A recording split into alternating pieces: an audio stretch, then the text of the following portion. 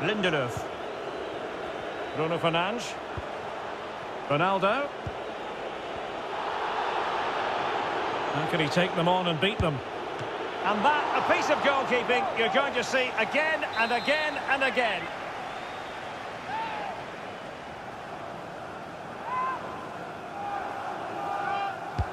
Trying to pick out a teammate. Who dealt with that ball comfortably. Ronaldo. Has eyes for goal! Oh, yes! He's going to be proud of that moment! What purity strike!